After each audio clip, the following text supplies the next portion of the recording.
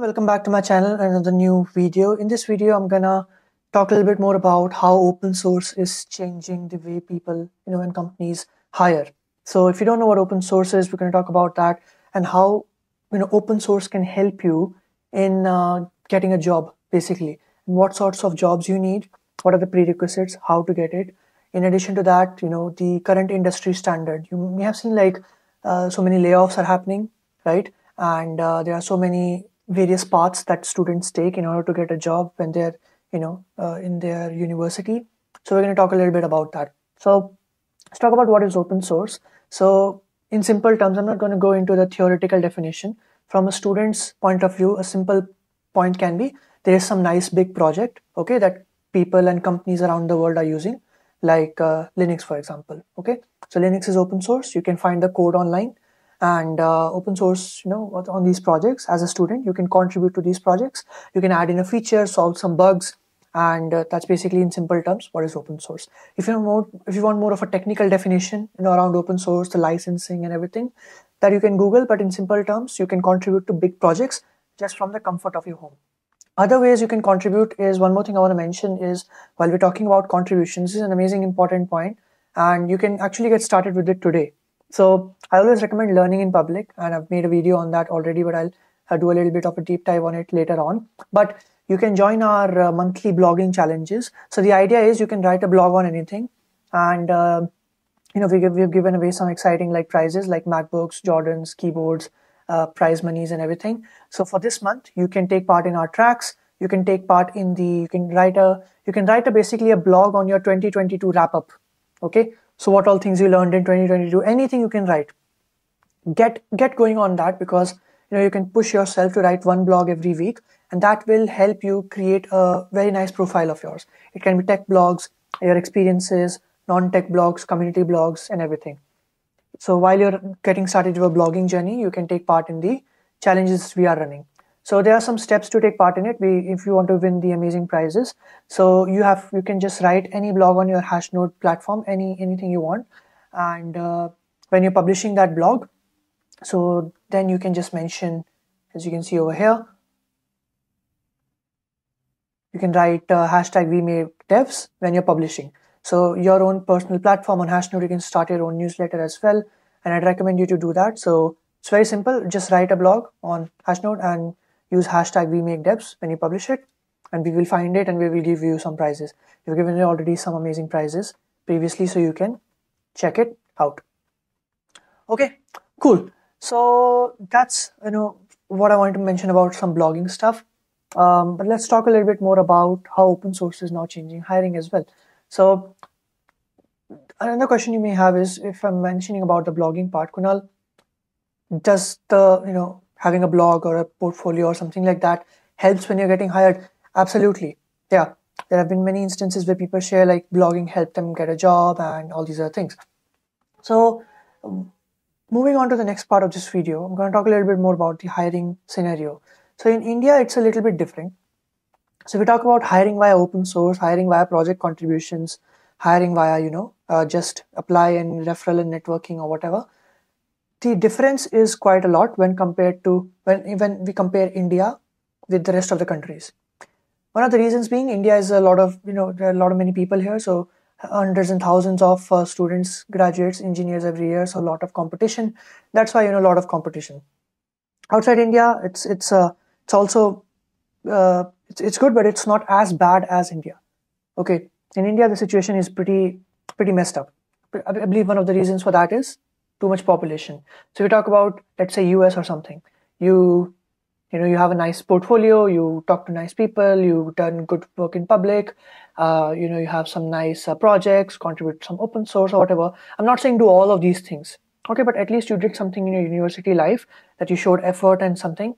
There's a high chance you will find a job, okay, and uh, the you know people are very uh, open minded over there in terms of like you know if someone is working hard someone is showing promise someone is uh, you know uh, working working on their skills learning new things. Doesn't matter if you know they're a beginner or a pro or whatever anyone can start with getting a job in tech okay? I want to give a huge shout out to my friend julia as well.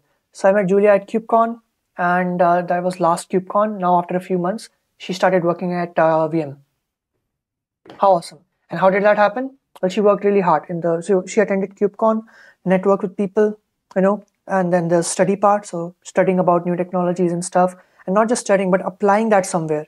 Okay. So doing community work, uh, creating blogs or tutorials and YouTube videos and, uh, you know, open source contributions and stuff and all these other things. And they're like, okay, hey, I've done so many amazing things. Can you, can I please get hired? Like, yeah, absolutely incredible. We will hire you. In India, this things changes. In India, no one gives a crap. Okay. Um, I'm not saying like everyone is like that. Uh, poor choice of word. Uh, many companies value it. Okay, but most companies do not. So if I talk about, um, let's say if I go to one of the FAANG companies, right, and I'm let's say from I'm not from a college or whatever. Okay, I I never did BTech or whatever, and I want to get a job at Google India or Microsoft India or Amazon in India, and I'll say, hey, I have some nice open source contributions, and uh, you know, let's say I'm from BSc pharmaceutical but I want to get into tech and I want a job at your company. Give me one example of a person who got a job at big tech company in India from such a non non non tech background. Let's say no no no no tech background and let's say no um, you know um, no degree even and they just did some let's say contributions or whatever and they apply. They are not even eligible. Not even eligible. Recruiter will not even listen to you. Okay so whatever things that I'm going to mention in this video about open source is changing the way people are hiring. It highly impacts India more than any other country because in all the other countries they already hire, you know, nicely. But in India the hiring situation is messed up. So why big tech acts act, big tech companies in India act a little weird and why you should not aim for these tech companies is what I'm going to share in this third part of the video. So you apply to a big tech company in India like Google, Microsoft, you ask for a referral to someone who works in India. If they don't know you, most of the time, they will ask for your computer programming rankings. And this is so ironic because not a single person in India, not a single person in the history has made the name in competitive programming for India. We are never, forget about winning, we are never in the top finals even when it comes to competitive programming contests. Check out the history you know 20 years 30 years or whatever since when of these programs are running there is not a single person who has even come in the finals. Forget about winning. Even come in the finals. The high schoolers of countries outside india you know like uh, russia or uh, china and us or whatever the high schoolers are like the 10 times more knowledgeable when compared to indian competitive programmers. So I'm just mentioning this CP thing because of the irony that you uh, yourself have never done nothing for your country in the field of computer programming, but you are asking for CP rankings. Okay, because they, to be quite frank, I am not sure if they know anything about other than computer programming or data science algorithms. Because I have personally seen people just do that and they give their interviews, get a job, and then they get fired or then they, you know, uh, quit and then they start their own business. So you can only ask people the skills that you have. If they were like, you know, real engineers, they'd ask, hey, you have some nice open source contributions, some nice projects. Oh, so many international conferences and stuff. Wow, very good. We would love to have you. Very, very rarely, I think that might happen, but I have not seen a single example. The ne- next thing why you should not aim for these tech companies, let's get to a real, like a realist part, is the pay is very less. So Microsoft base pay is around 13 LPA or 14, 15 LPA, it is very less. After tax, it's really, really less as compared to even some startups in India. And the stock options that you get are very negligible. It's 35,000 US dollars vested over four to five years. That is nothing. That is literally nothing. So it's not anything. I made a video on this, like 40 LPA or whatever. So don't do it. If you want to get into FAANG type companies, I'd recommend aiming for the United States, okay, or uh, London, UK, or something okay because their pay is very high and good work life good good good projects that they get to work on and good like uh, i mean i don't know much about the projects because i've never worked at FAANG india. Uh, i can only share the information that is public. But um, you can learn a little bit more about like um, you know the sort of like culture you can talk about uh, you know uh, the opportunities and uh, all, all sorts of things right? So working at silicon valley let's say for meta the pay is very high as compared to india which is really uh, laughable. So less pay. That's why I would also not recommend uh, you know big tech in India. the third thing is a discrimination big tech does not come to every college right so there's a uh, there's a discrimination that they do and point number four is overrated it's very overrated no pay hiring structure is broken pay is less and uh, work life balance i have not heard very good things about i have heard good things about the microsoft india work life balance i have not heard good things about the amazon india work life balance. Could be wrong but you can ask your friends who are non influencers who work at these companies. Influencers will always lie because they have to make their brand. Like oh i work at this company it's amazing i will teach you how to get into it. No influencer will be like okay i work at this company it's really garbage uh, please don't go here. No that will not bring in views right? They will only share that after they quit. So it's overrated that's also why i not recommend. Point number five is one more thing around hiring that people have you know in their mind is uh, iits so i would not recommend iit now especially if you're trying to get into tech. 100% you can do iit and if you want to get into tech if you're getting that much of a good rank like computer science or it or related to that i would not recommend doing any other branch just for the sake of getting into an iit why? Check this out so as you can see even the placements are frozen for amazon meta for like international hires. It's not hiring from iit here you can see this amazing tweet with proof of stats.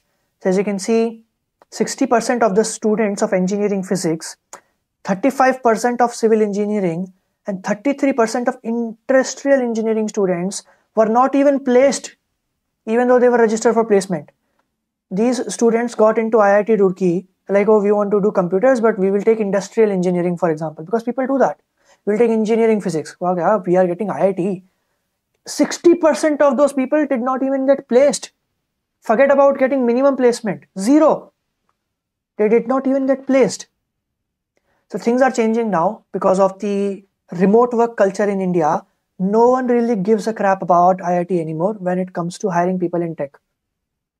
Okay, it goes on and on. IIT Kharagpur, 33%, 55% of biotech engineers, 33% aerospace, 30% of civil engineers could not get a job. Now, other argument that people make is, Kunal, but the IIT tag will help you when you apply off campus? Absolutely not. In India, it may help, but that is not what I'm trying to promote. I'm trying to promote global work culture. Fine, IIT may help you in India. That's good. How much salary would you get? 15 LPA, 18 LPA, 20 LPA with that IIT tag. Is that really worth it? No, absolutely not worth it. Instead, you can contribute to open source, which we're talking about in this video, and you can get, you know, 60, 70 lakhs per annum base pay as a student. Worst case scenario 40 lakhs per annum. Below average minus negative scenario, like the very poverty line scenario for remote work, 25 lakhs per annum base pay, which is twice of almost twice of Amazon India. Below poverty line of the remote work pay that companies offer to people in India, like very, very minimal, very, very minimal. That's at least 20, 20 lakhs per annum. At least. Okay? But that's not always the case. On an average if you work a little bit hard on an average the pay is 40 to 50 lakhs per annum base pay. And no extra tax or anything you need to pay full mortgage and uh, that's why i don't recommend so these five points we discussed and as you can see there's it's not just me speaking this is this guy on twitter you know you see 100k US dollar plus salaries in tech plus don't know how to code. You can he gave me a nice little shout out. So I really appreciate that. Right. There are so many scenarios for this. That's what I'm trying to promote. No scenario in which FAANG companies in India can come close to what remote work offers. There is not a single statement in which FAANG India companies can come close. Okay. So for India, we talked about the third point. Big tech acts a little weird, doesn't offer anything and very overrated discrimination, less pay, uh, ask for the CP rankings, even though we have failed in computer programming as a country, and we will keep on failing for the next till the computer programming thing exists because we are not doing it to win contests, we are doing it to clear coding rounds. And you don't have to do it to clear coding rounds. You can just do LeetCode. Lead code is more than enough to clear online coding rounds, interview rounds, or anything. You can check out my YouTube video for that. Okay. Um, now, point number four let's talk about point number four how open source helps So you get a global network. That's a very important point of open source.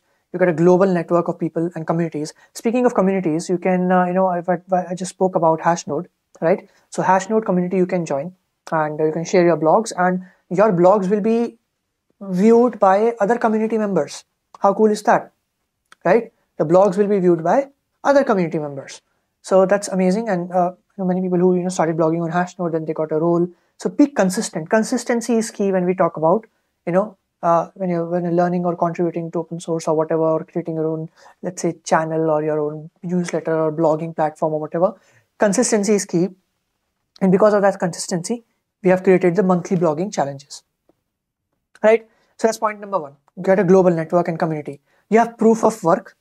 Okay, you have proof of work um, if you just you know talk about like hey uh, i want to apply for a web development role here's my github profile all the projects are listed there you contribute to some big projects then that would be listed there everything is out in the public so you have proof of work and the people you, you who you meet you know when you contribute to open source most of the time they will only refer you to their companies.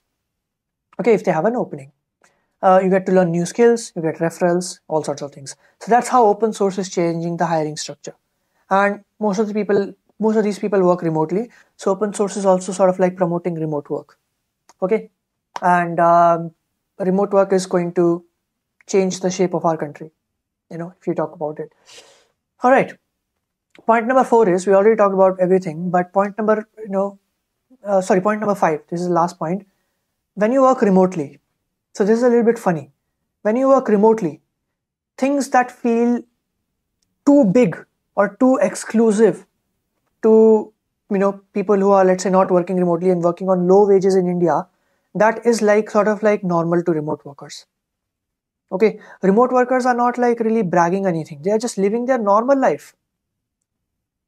Living their normal life but people who have not seen that level of income for a freshman they will see like as a very big thing for remote workers that is not a big thing for example uh, this is a little bit stereotypical, but it's true and specifically applies to people in India. Things that, you know, people in India get really excited about. Uh, going to the United States, very big thing for Indian students, right? And it should be as well. It's not easy. Um, going to Europe, you know, um, going on a vacation, let's say 10 day vacation to any country in the world you want. It's a very big thing for, you know, people who are earning 15 lakhs per annum. It's a very big thing You have to plan, you have to save, you have to give EMIs and everything. So I'm not demeaning anyone. Okay, I'm just stating a fact. And if I'm not, how am I supposed to convey to you what you can do via remote work without saying it? Okay, stop taking everything with you know to heart because I'm, I'm, I'm only mentioning the facts over here. Okay, if you want to take your entire family to Europe for a month, it's going to cost you how much? 20 lakhs without even giving it a thought and just swiping your card for 20 lakh, remote work can help you do that. FAANG India will not help you do that. You can't do it while working at FAANG type companies in India. And I'm not giving this as a motivation, okay? Absolutely not. Even the wanderlust inside of me has died now because I traveled too, too much. So I, I get it, travel is overrated and you know, you don't have to spend too much money and you know, materialistic things or whatever. I'm just giving an example that if you want to achieve such things, you want to buy a villa that is worth, I don't know, um, let's say in London, it's uh, a million pounds, 10 crore rupees, right? Can you do that with a 15 lakh per annum monthly salary? Senior engineers in Microsoft make 30 lakhs per annum. No, you can't. 10 crores is a lot of money. It's a very big amount of money. The small ray of sunshine that you have is remote work and or start your own business. Okay, so again, this is not a. I I, I know I'm, I may sound I, I am cringed on this thing that I'm saying right now as well. Okay, I myself I'm cringing. Oh, Kunal, you're talking about you know like an influencer, all the cars and houses or monies or whatever. But no, these are essentials of life. And uh, how else am I supposed to praise and help you and you know change your life by raising awareness about remote work if I don't talk about it and give examples? because I just moved to the UK and I've experienced this myself. I just took my family, entire family, to Dubai. Cost me more than Amazon's base pay for a one week trip. So, when I'm in these shoes and I think about it, like all the amazing possibilities that are out there, Kunal, you know, you're getting so many nice possibilities and everything. Why are other students not doing it? Why, why is no one doing it? So I'm only trying to help you, you know, do it. It's, it's important. You, you should work remotely. FAANG India should be your least backup option. Okay? Because these people are very, like, they, they discriminate and the, it's overrated, less pay, and just not very good. Okay? And I want my audience to succeed very big in life. Okay? Succeed very nicely in life. So that's why I'm promoting remote work and that's why I'm giving these examples. It's not motivation, it's just an example I'm giving you. Um, so things that feel too big for people who work in India are day to day for remote workers. Okay. Okay. So if you want to normalize having a above average lifestyle, you have to work remotely or you have to start your own business. Okay. Um, if you're not rich, basically. So you start your own business or you work remotely. Um, I can't really talk a little bit more about like stocks or whatever. I don't know how to get rich with rich with stock marketing, but I can definitely teach you how to get rich via working remotely and having your own like personal portfolio and blogging or whatever. Do you know how much amount of money for one blog people can make? 200 300 dollars for one blog if you're very good at writing. Just for one blog. Why are you not taking this opportunity? Start your blog today, make it pretty. So, Kunal, what do you mean by make it pretty? Let me show you. So if we go to blogs.wemakedevs.org, see how pretty. Case studies, cube letter, sponsor, newsletter, right? People can sign up to my newsletter and get, you know, uh, all the information in their uh, e- email only. Now you're like, Kunal, is this paid? Absolutely not. Hashnode is completely free. So you can just go to Hashnode and you can create your own newsletter. You can say, start a personal blog. That's it absolutely incredible people can sign up and you can write and do challenges and everything and i already shared with you the so you can see if we talk about this uh, you know sachin has let's say for example posted something he used the tags we make devs now i will find this and we will be able to give them some you know nice swag and some other things so for this month so these are all the people writing you know we make devs how cool is that and we help them we promote their tweets and, and do all sorts of nice things. Okay, so it's definitely not an easy thing. If a company is paying you 50, 60 lakhs per annum, base pay, including stocks and other benefits, it will be difficult to get in, but you have to work hard. Okay, and you know, let's get started, uh, contribute to open source. Um, so here's what you can do right now. Contribute to open source, take part in the weekly challenge. One thing that you can do right now is write a 2022 wrap up blog on Hashnode and submit it. That's it. And then you start your journey, write a blog every week. We have the blogging challenge going on, so we will help you to retweet and stuff. And we'll give you some swag and prizes as well. And uh, second thing you can do is so that's first thing, link in the description. Second thing, contribute to open source. Open source is incredible. Uh, you can join EddieHub community. You can check out our open source projects. We've just open sourced our website, but we're planning to do more and more such things. And the third thing is attend international events because there you will meet companies around the world and people around the world and you will network with them so please network with co- global communities as much as possible by global communities i don't mean i don't mean communities outside india okay communities that are in india they can also be global. For example Kube Simplify so, Kube Simplify is being run by Saiyam and some other students in india but it's not an indian community. It's a global community. You see the live streams they do and everything uh, with like uh, they did with Rawkode and other people. So they are global people, and it's very very important for you as an Indian student to go global, because in India a lot of people are just going to take advantage of your naiveness and sell you stuff. But when you go global, you will realize how the world works. Okay, and by global I don't mean move abroad. Okay, you don't have to do it. You can stay in India and work for companies outside India remotely. Okay? And that's a lot of money. So because india is a relatively cheap cheap country to live in. Like living expenses are very cheap. Okay? For example as compared to london india is very cheap.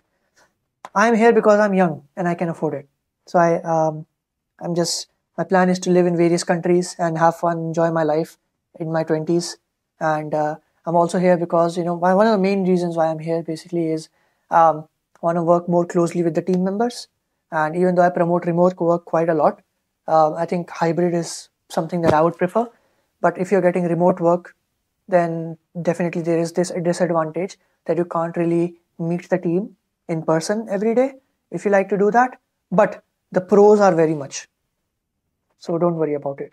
So I, love meeting my team and uh, going to you know our office spaces we have and just net talking to people in person, sharing ideas.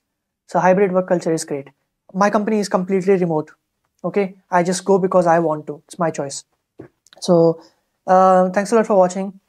As an action item, share your 2020 wrap up blog. Check out the link in the description below for the Hashnode challenges.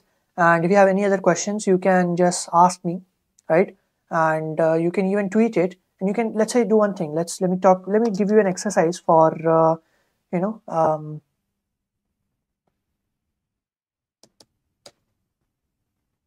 let me give you an exercise for the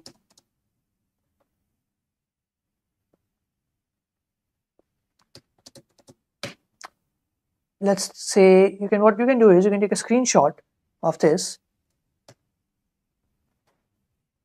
Okay? And you can write a tweet thread like hey i'm taking part in the Hashnode challenge. You can tag Hashnode and then you can say something like um, to hear my threads of what i learned in 2022 and then using that thread you can make a blog out of it.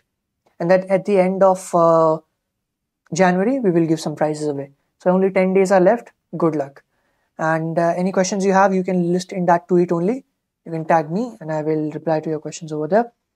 Thanks for watching. And if you have any questions, also you can you know tweet those or leave those in the comment section below. Like, share, and subscribe, and uh, contribute to open source. I'll see you in the next one. Have a great day.